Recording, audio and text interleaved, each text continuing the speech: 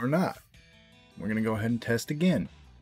Um, I do not know how to to get both microphones to quit recording on OBS.